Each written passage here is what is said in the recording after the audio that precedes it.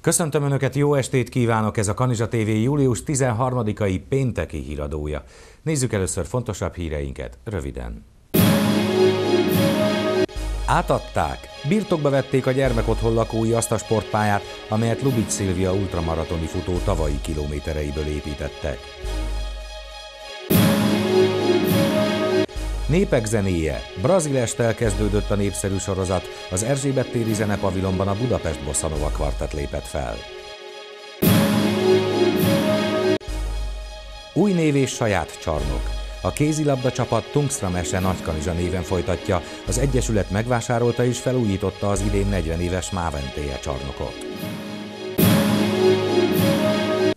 Most pedig a részletek és további híreink. Átadták a nagykanizsai gyermekotthonban azt a sportpályát, amelyet Lubic Szilvia kilométereiből építettek. A sportoló tavaly teljesítette a kaliforniai Badwater ultramaratont, amelyet a világ egyik legnehezebb versenyének tartanak. Az ott lefutott kilométereit lehetett jelképesen megvenni, az akcióhoz több mint 60-an csatlakoztak, így csak nem 1,3 millió forint gyűlt össze a pályára. Sugaradán,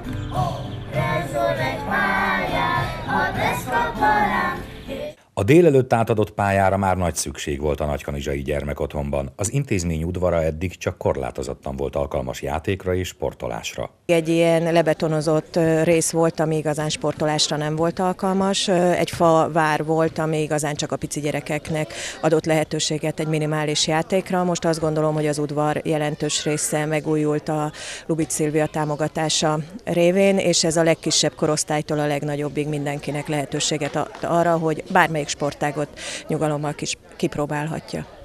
Lubics Szilvia a világ legkeményebb sivatagi futóversenyén a kaliforniai Badwater ultramaratonon döntötte el, hogyha sikerrel teljesíti a gyakran plusz 50 fok feletti hőmérséklet ellenére a 217 kilométeres távot, akkor létrehozza az Építsünk egy sportpályát a Nagykanizsai gyermekotthonnak jelmondatú akciót. Mivel számomra ez egy nagyon különleges dolog volt, azt szerettem volna, hogy, hogy ne csak nekem maradjon ez, mint élmény, hanem, hanem valami jó ügyet is szolgáljunk az én futásommal, ne legyen teljesen öncélú és azt találtuk ki, hogy a verseny kilométereit, itt 217 kilométerről van szó, árverésre bocsátjuk idézőjelesen, tehát meg lehetett vásárolni egy-egy kilométert, és a befolyt összeget pedig a gyermek otthon javára gyűjtöttük.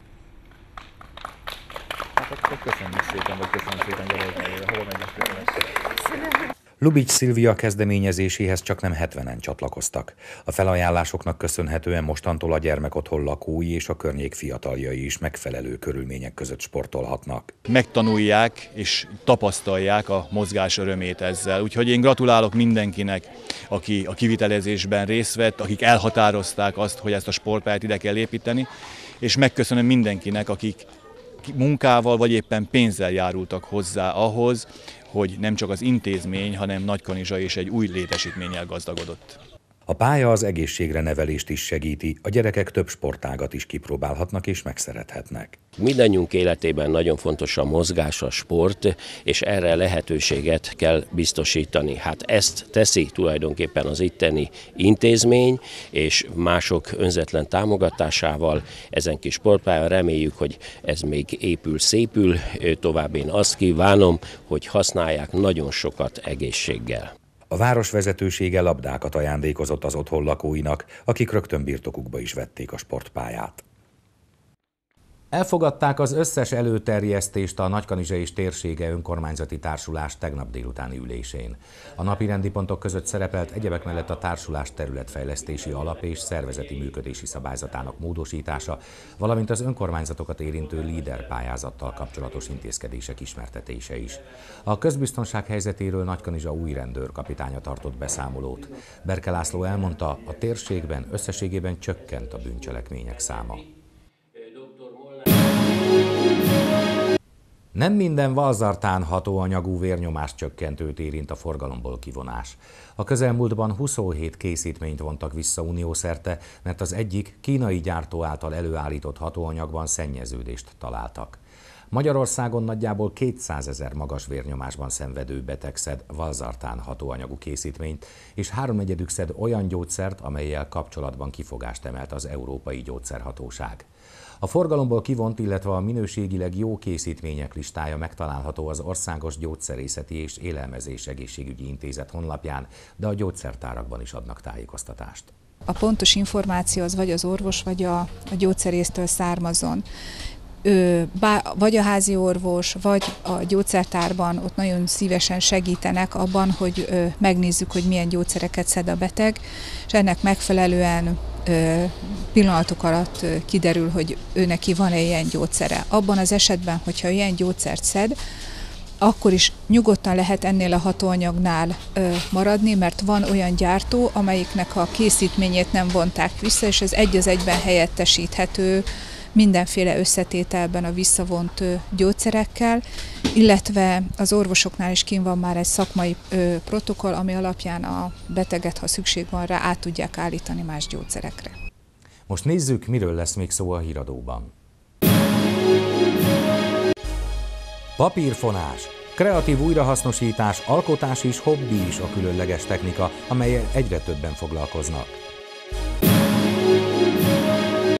Rekonstrukció.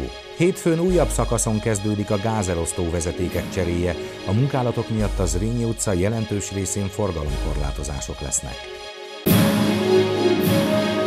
Sikeres szezont vár. Bene Gábor veszi át az utánpótlás irányítását az FC Nagykanizsánál. Brazil dallamokkal kezdődött a Népek zenéje sorozat az Erzsébet téren. A Budapest Bossanova kvartett koncertjén a bossanovák és a szambák eredeti hangvétellel szólaltak meg. Lágy zene szólt tegnap este az Erzsébet téri zenepavilomból.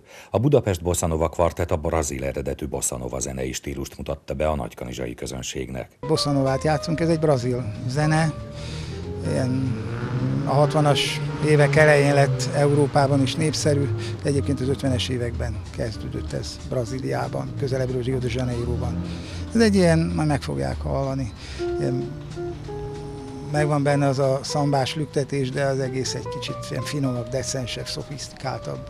A Magyarországon is egyre népszerűbbé váló bossanovák a szerelemről vagy annak hiányáról szólnak. A tegnapihoz hasonló zenés est még kétszer lesz a nyáron. Jövő héten kedden, az 17-én fél nyolckor egy francia est, egy Edith Piaf estel készülünk, és 25-én ugyanígy fél nyolckor egy azeri est, ahol egy azeri, azerbajcsáni zongorista lesz a vendégünk, magyar zenészekkel kiegészülve. A népszerű sorozat kedvelőit és a zenerajongókat legközelebb is az Erzsébet téren várják.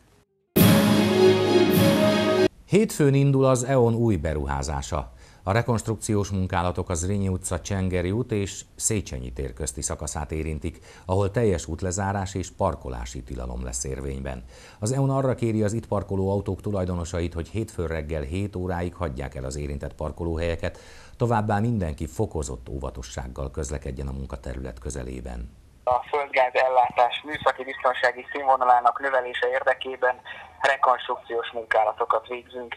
Ennek keretében a Zrínyi Miklós utca jelentős szakaszán gázelosztó vezetékcserét hajtunk végre.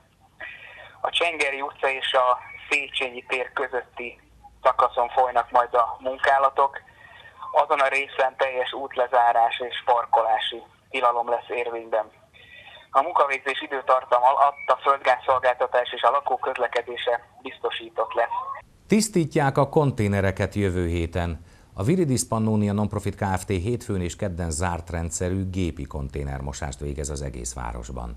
A szolgáltató munkatársai a társasházi hulladék gyűjtésére használt 770 és 1100 literes gyűjtőedényeket tisztítják.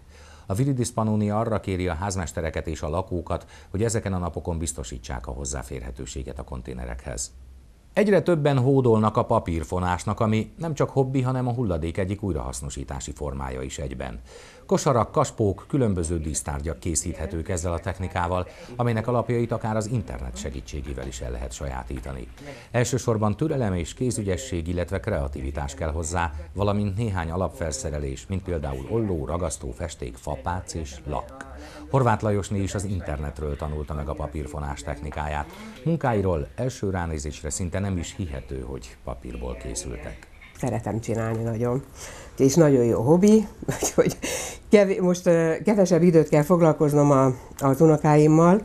Hát sajnos, ugye, mert megnőttek, és hát az nem, nem sajnos, hanem nekem sajnos, hogy kevesebbet tudok velük foglalkozni, és az időm így több lett, és akkor erre használtam hogy valami hasznos elfoglaltságot csináljak. És akkor így alakult ki a fonás. Saját felújított csarnokkal várhatják a másodosztályt a kanizsai kézisek. A következő szezontól Tungsra Mese Nagykanizsa néven induló csapat megvásárolta, majd felújította az idén 40 éves Máventéje csarnokot.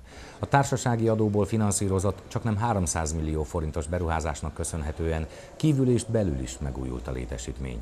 A fejlesztés eredményeként az utánpótlás csapatok és a felnőtt gárda is a csarnokban edzhet, valamint itt lesznek a hazai mérkőzések is.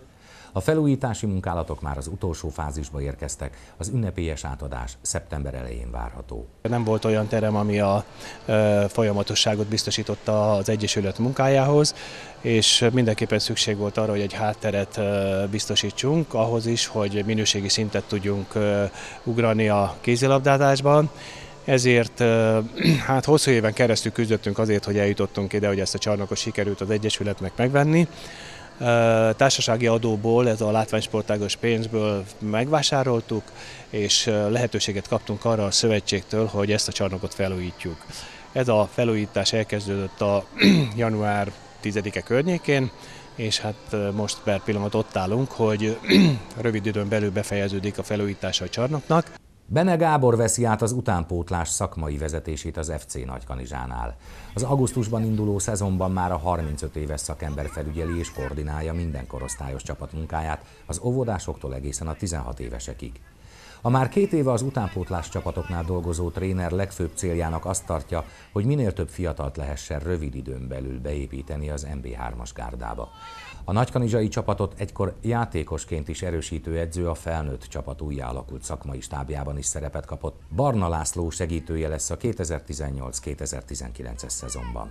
Nagy feladat egyértelműen, de büszkén vállaltam, és nagyon remélem, hogy a kollégákkal együtt, akikkel azért már az elmúlt időszakban úgy gondolom, hogy elég jól tudtunk együtt dolgozni.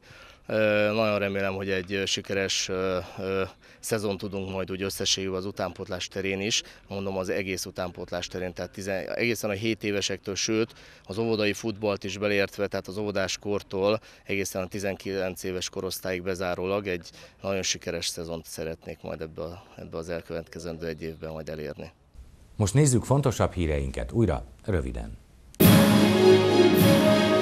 Átadták, birtokba vették a gyermekotthon lakói azt a sportpályát, amelyet Lubic Szilvia ultramaratoni futó tavalyi kilométereiből építettek.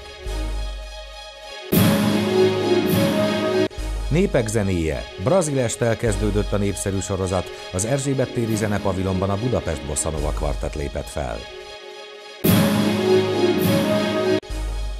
Új név és saját csarnok. A kézilabda csapat Tungstra Mese Nagykanizsa néven folytatja, az Egyesület megvásárolta és felújította az idén 40 éves Máventéje csarnokot.